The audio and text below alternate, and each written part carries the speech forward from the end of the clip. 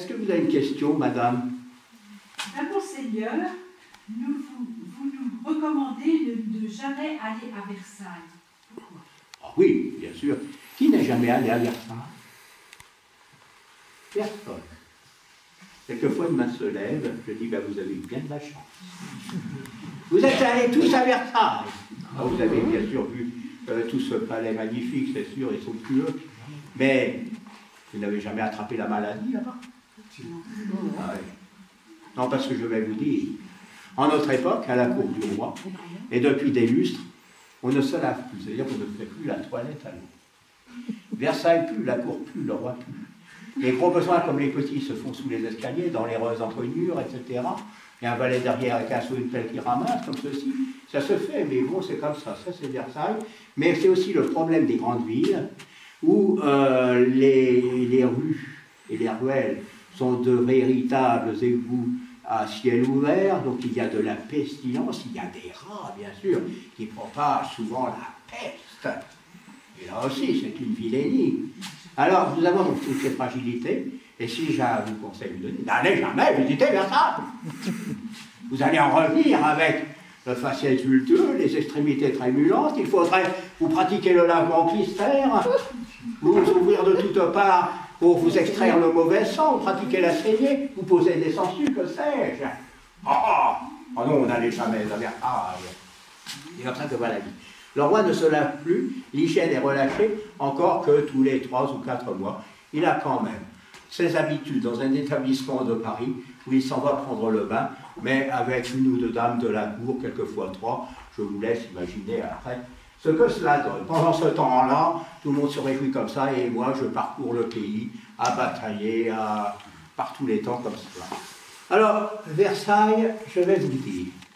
Là, je vais vous conter de mes aventures qui arrivent à notre roi, qui va vous montrer combien nous étions soit robustes, ou alors soit nous pouvions trépasser euh, à la suite d'un geste maladroit d'un chirurgien, d'un médecin.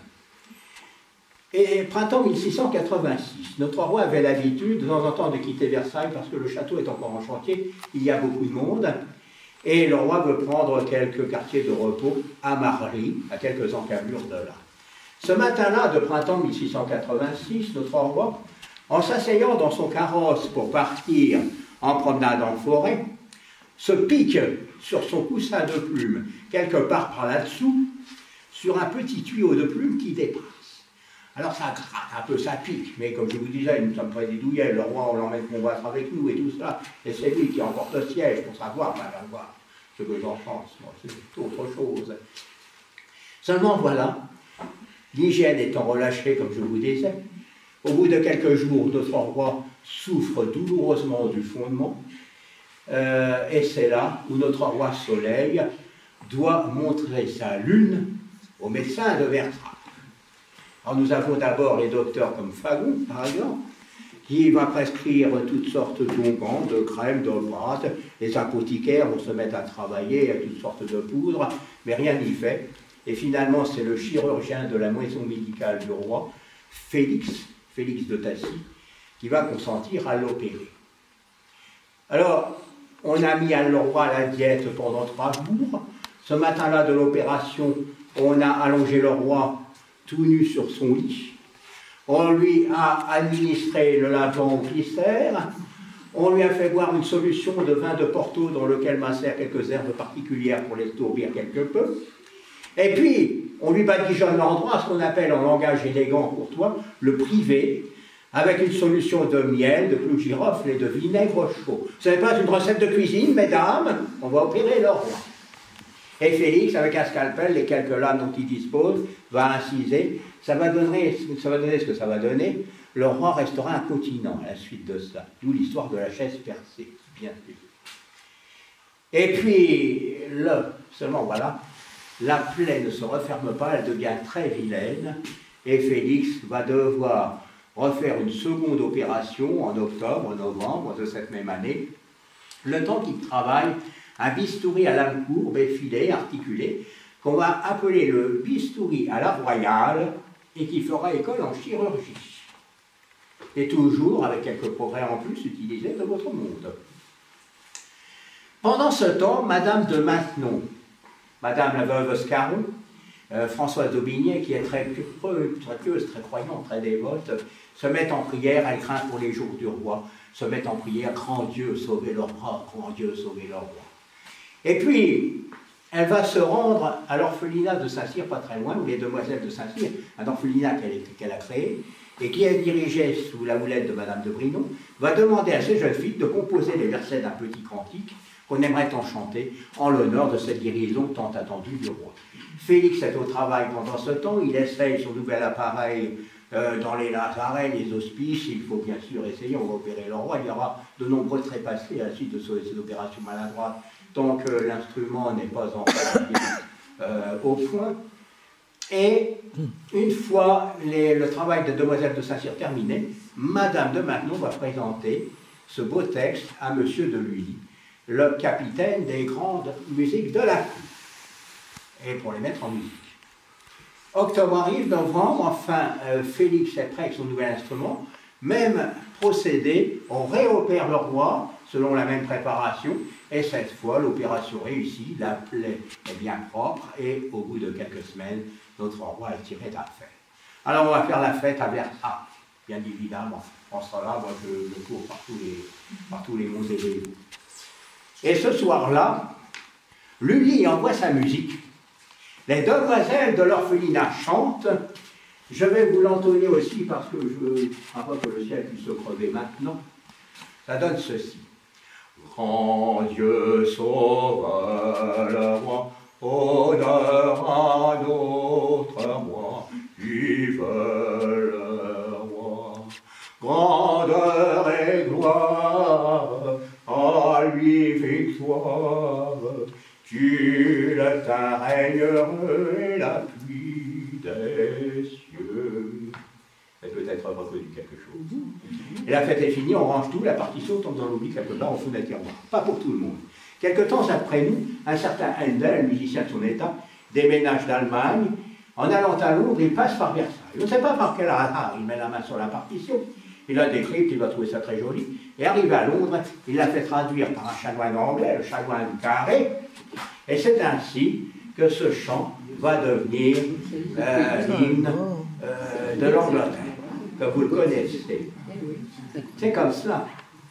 Mais je vous demanderai, s'il vous plaît, de ne jamais rappeler ce souvenir au sujet de sa gracieuse majesté d'autrement. Eux, ils vous diront c'est Handel qui a composé, il a peut-être fait un arrangement. D'autres vous diront c'est seul ou d'autres. Non, je vous l'assure. Ils savent qu'ils ont leur hymne royal parce qu'un jour notre roi Louis le XIVe fiché une plume dans le farfatin. Ça n'a rien de très glorieux. Et ainsi va la vie à Versailles. Vous aimez ce genre d'histoire? Ah, ah, ah, ah, oui. Vous voulez que je vous en compte une autre? Nous parlions des dents sur l'instant. Bon, on a de la chance, Monseigneur est reparti, il souffrait un peu, heureusement, mais bon, c'est vrai que j'aurais pu l'impressionner avec l'histoire que je raconte. Ce sont des histoires vraies, hein, à peu de choses vraies. On peut les On n'est pas loin euh, de la vérité. Alors, je parlais des dents. Je parlais des dents. Et je disais, à 25 ans, 30 ans, on a les dents noires, pâtées, pourries. Vous allez à Versailles, si vous allez voir la cour, même le roi, on vous parlera comme ça parce qu'on n'a plus de temps. Donc, mais vous connaissez l'appétit du roi à Versailles le roi qui mange, car un appétit absolument solide, et puis en plus on aime bien goûter tous les plats à Versailles. Les maîtres que regarde, on goûte toutes les nouveautés, comme je vous parlais tout à l'heure à propos des nouveaux légumes, on aime cela. Le roi est gourmand, mais aussi gourmet. Mais euh, lorsqu'il mourra, les chirurgiens qui voudront l'embaumer s'apercevront de deux anomalies. La première, il avait un ver solitaire, il hébergeait un locataire, ce qui fait qu'il mangeait, il mangeait pour deux. Et on découvrira aussi, on ne le dit pas toujours, mais qu'il avait aussi un estomac à deux poches. Alors, voyez l'ingénieur que je suis, deux par deux, ça fait quatre, le roi mange comme quatre. Donc, nous avons cela, nous avons cela, et c'est là où notre roi, un jour, il a encore une vilaine molaire qui lui fait vilainement mal comme ceci, il faut l'extraire. Alors, on a déjà fait boire au roi une solution, la même solution de vin les herbes comme ceci. Mhm. Ce matin-là, on l'a attaché par les épaules sur son fauteuil, il y a un courtisan qui maintient d'un côté, un autre de l'autre. Là, cette fois, c'est Fagon qui va opérer. Fagon est l'arracheur de dents attitré à la cour. Il connaît tous les clapoirs de la cour. Et Fagon a donc introduit un éclair dans la bouche royale, et avec un scalpel, il commence à détourer les racines de la gencive. Ah oui, parce qu'il faut faciliter le travail. Ça crache un peu, ça saigne. Ah, ah oui, il faut cela. Mais on ne sait pas par quel hasard malheureux. À un moment donné, le scalpel de Fagon dérape et va lui percer le palais. Vous allez me dire, c'est un comble pour un roi de se faire percer le palais, tout de même. Mais il faut bien achever la chose, et Fagon, en tirant sur la dent, fait venir un petit morceau de l'os du palais à cet endroit. Le roi hurle ce qu'il peut, rassurez-vous, on a toujours une aiguille de fer qui rougit à la flamme d'une bougie, on voit cautériser. Mhm. Alors ça fume un peu, ça sent cochonnerie, mais on n'a que cela, bien sûr. Et le restaurant est béant, puisqu'il y a manque de matière, on n'a rien à mettre à la place. On ne va pas mettre un, un emplâtre de pierre ou de poudre de pierre ou de plâtre. Donc nous avons cela, et on vous dira désormais qu'à Versailles, lorsque le roi trône à sa table d'invités, il y a toujours une liste de convives considérable, il y a toujours 60-70 convives invités. Et on dira, les dames se pâment devant le roi. Tomber en pamoison, un jour on dira tomber dans les pommes. Mais il y a de quoi, mesdames, parce que, imaginez déjà, je vous disais, on ne fait pas la toilette, imaginez toutes ces pestilences qui rôdent un peu, imaginez les transpirations aussi, imaginez les vilaines haleines également, Imaginez après les, les, euh, les, fumets de tous ces plats qui passent comme ceci. Il y a vraiment de quoi tout mélanger, c'est vraiment écœurant. Alors il y a vraiment de quoi tomber à la renverse. Mais dites-vous bien que si vous regardez le roi des glutides, il y a une partie de la nourriture qui ressort par la narine. N'allez jamais traverser, il fiche trop bleu. Ces histoires sont véritables. Vous les retrouverez dans certains livres.